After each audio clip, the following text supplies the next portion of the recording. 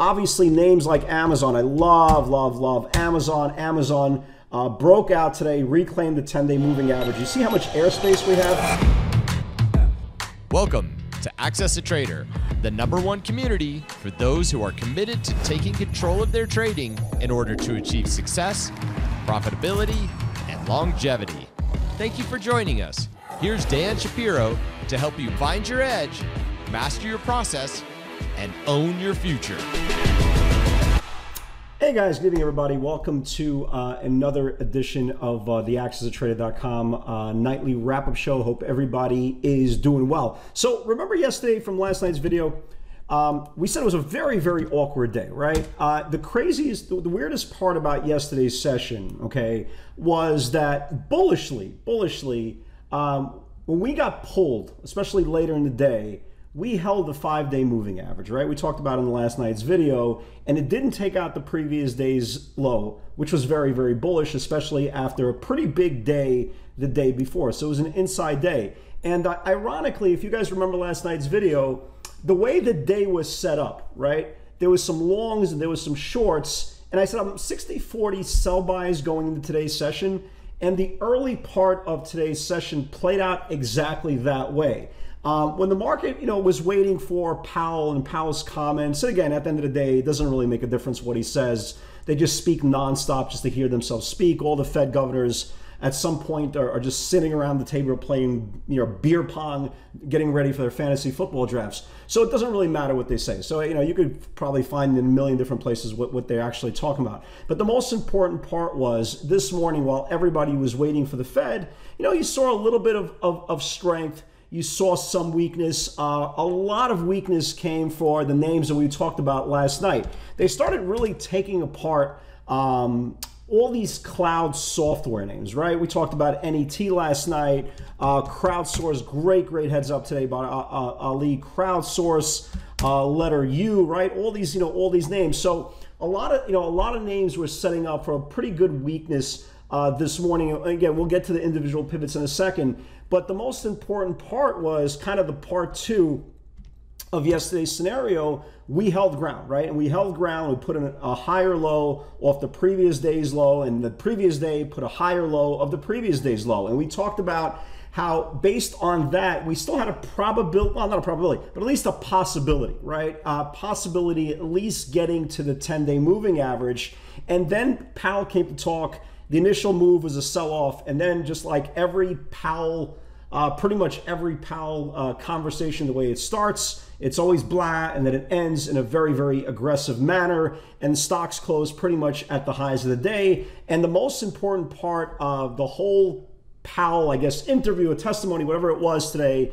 the most important part is we took another necessary step back higher, right? And we reclaimed the 10 day moving average. Remember, everything goes in stages. It's like a child. The child can't just wake up uh, one day and start running, right? It's you're born you learn how to hold up your head, you learn how to sit up, you learn how to crawl, you learn how to stand, right? Next thing you know, you're running, and that's what coming off the, the, the bottom areas of the market is. Again, if you look at the longer term view of the market, we're still in a downward cycle. Again, don't misunderstand, you know, don't mistake uh, stocks that are moving up from an overall macro environment. And again, you could go through the last five months for uh, a pretty good uh, demonstration of that. But from the day to day activity and how we plan for the next trading day and how we, we, we view our next trading day, there's actually some pretty good opportunities in that. And if you look at, if you go through charts tonight, right?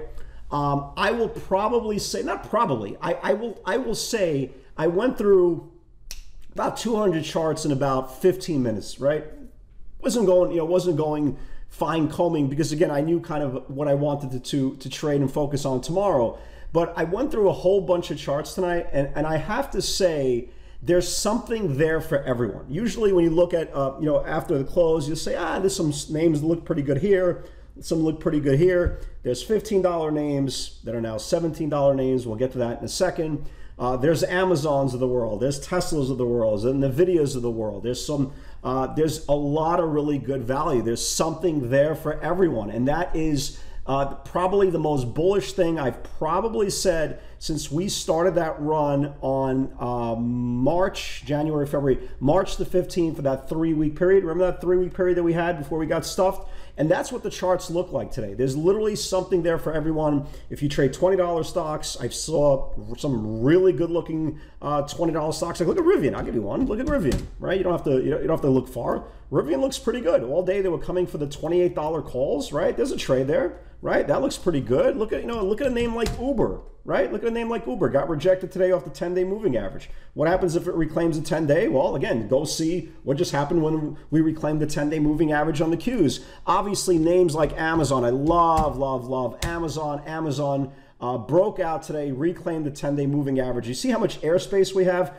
If we could just rally for the next couple of days, guys, look how much airspace we have in Amazon. Look at Tesla you know, starting to set up for the next couple of days. It might not like scream obvious, right? It might not, but if it starts taking out some previous day's channels, you could start seeing a move to 800. Look at NVIDIA. NVIDIA looks really, really ready, right?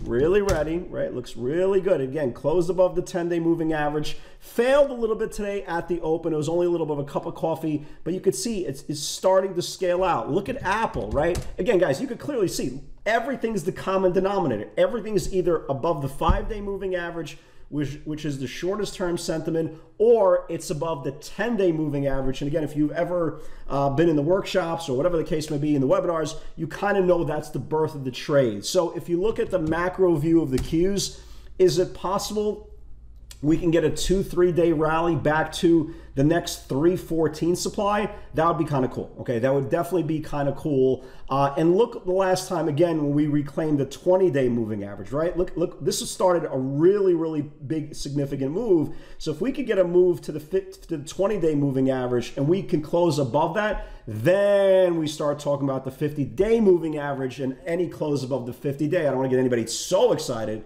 but that's when your risk goes on, right? Anything above the 50 day, right, is bullish. Anything below the 50 day is bearish. So if we can go from the 10 to the 20 to the 50 and close anywhere above uh, the 335, 337 level on the Qs in the next couple of days, maybe in the next week, yeah, risk is on and we are back to uh, really, really good uh, aggressive bullish tendency. So right, so that's the whole point. You don't need to be, you know, you don't need to feel one way or another about the market. The market gives you plenty of opportunities to the downside. The market will give you plenty of opportunities to the upside. The most important part is you just have to be open-minded, trade what you feel comfortable. So if you don't trade Amazon, don't trade Amazon. If you don't trade, for example, Rivian, don't trade Rivian. If you don't trade Tesla, don't trade Tesla. The most important part is being your inner self, the best version of yourself you could possibly be. And again, like I've said before, your, you know, my size 10, 11 shoes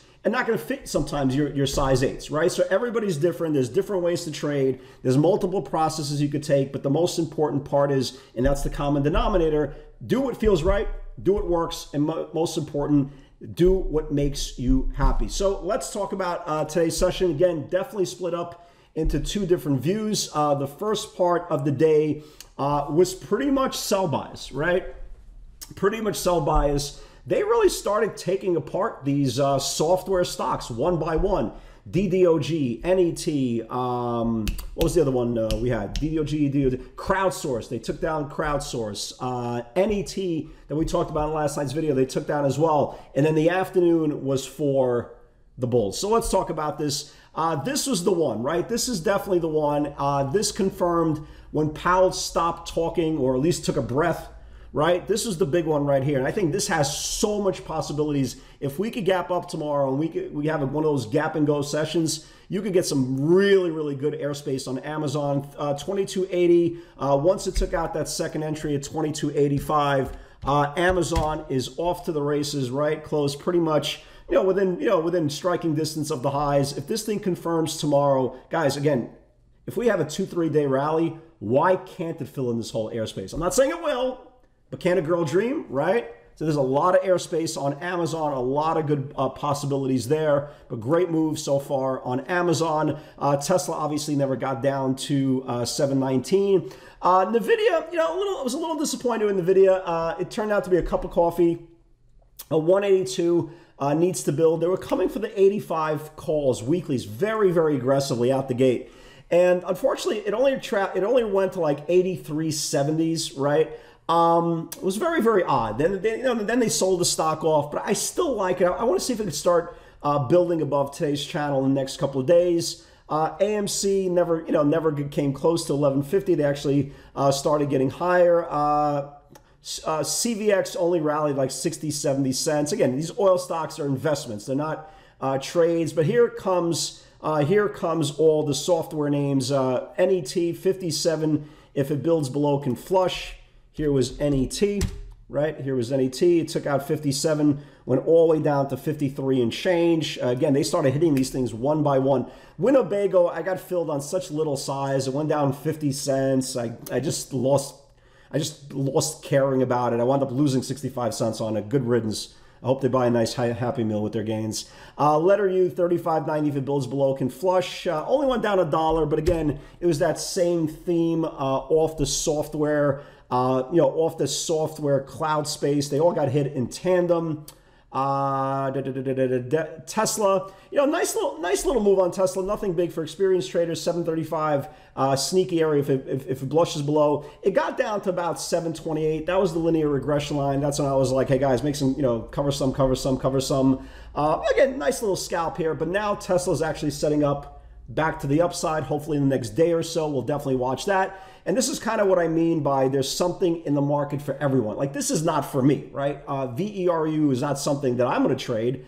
Uh, but this is, you know, this thing, they started coming for the weekly uh, $18 calls. And for all you guys who are still long this thing, congratulations. Uh, needs a new base over 1464 and 1520. That's the daily supply. This thing erupted into the close, right? Erupted into the close. Here is the 1460. Here is the 1520. It erupted into the close, closed at 1560. Uh, it traded as high as after, it's right now in, uh, after hours trading uh, at 17. This thing tomorrow, if this thing gets above 1750, all those $18 uh, call buyers are going to be very, uh, very happy. So if you are holding that, great job uh, there as well. Again, here comes NET. Uh, here comes NET. Crowdsource. Ali, I still owe you lunch. Thank you very much for bringing it to my attention. Uh, 144.82 for experienced traders. 143 macro needs to confirm. Here was Crowdsource. Great move. Beautiful move. Again, today was what was cool about today, again, it was just something for everybody. And that's kind of what the coolest market is. So it took out the 44.82, confirmed the 43, and went all the way down to 140 and change. Really nice move on Crowdsource. Uh, letter U, here comes 35. Tesla, they're coming in. You know, that's it. So that's it, guys. So go through your charts. There's a lot of looking, you know, good looking charts tonight. Something, uh, something is there is going to meet your criteria. Something there is going to meet your comfort zone. Something is there that's going to meet your account size and your experience and your risk tolerance. Now it's up to the market gods to confirm everything of our research is telling us and seeing if we actually can't get that second wave of buying tomorrow. Um, I actually have to uh, run right now. My son's AAU team, for all you basketball fans, uh, he he is playing against what's the guy's name? Uh, Kyle Anderson. He sponsors an AAU team, uh, eighth and ninth grade boys. So if like John Morant suits up for his team, I'm telling my son he's on his own. Guys, God bless. Have a great night, everybody, and I'll see you all tomorrow. Good.